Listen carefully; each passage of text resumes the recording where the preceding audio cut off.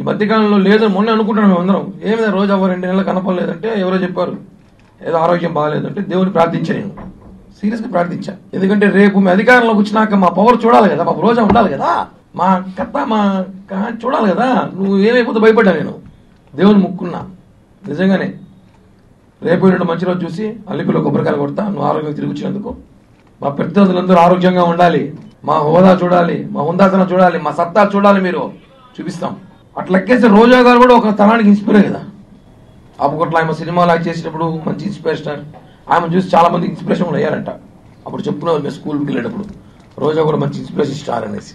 రోజా అంటుంది ఇంటర్కి కూడా పీకలేమని. మేము పీకలేమో పీకుతామో లేదా నువ్వు పీకించుకుంటావో నువ్వు పీకి పీకినావో నీకు తెలుసు. పెద్దిరెడ్డి రామచంద్రారెడ్డి గారి అంటే మంత్రి మీ ప్రత్యర్థి అనుకుందాం. మరి మీ ప్రత్యర్థి నీకానికి పడదు అనుకుంటాం. అంత జరిగిన విషయాలే కదా. ఆయన ఒక పాల డైరీ ఉంది. పుంగునూరులో శివశక్తి. దాని మీద మాట్లాడే దమ్ముందా నీకు?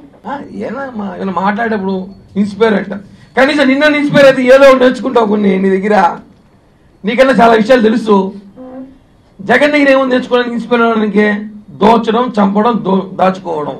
ఇదే ఇన్స్పైర్ చూడు రోజవ్వా నువ్వు జగన్కి చాక్లెట్ ఇచ్చావు. కాకపడ్డాను అమూల్ చాక్లెట్.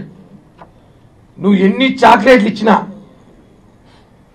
జగన్ కానీ జగనో లేదో నగిలి ప్రజలు నీకు బిస్కెట్ ఇస్తారు. నువ్వు చాక్లెట్ ఇస్తున్నావు జగన్కి ఇన్ని చాక్లెట్ ఇచ్చినా ఈసారి అయితే మీ ముఖ్యమంత్రి జగన్మోహన్ రెడ్డో లేదా నగిరి ప్రజలు నీకైతే బిస్కెట్ ఇస్తారు.